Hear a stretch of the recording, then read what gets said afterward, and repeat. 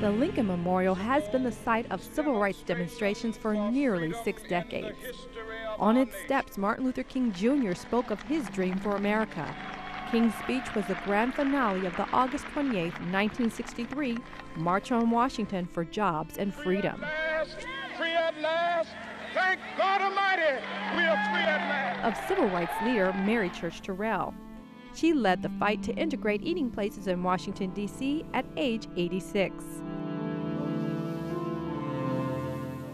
Andrew Rankin Memorial Chapel, Frederick Douglass Memorial Hall, and Founders Library at Howard University in Washington, D.C. were important settings for their role in the legal establishment of racially desegregated public education.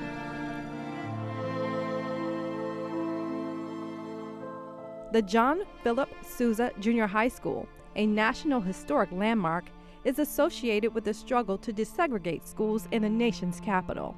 The school stands as a symbol of the lengthy conflict that ultimately led to racial desegregation of public schools by the federal government.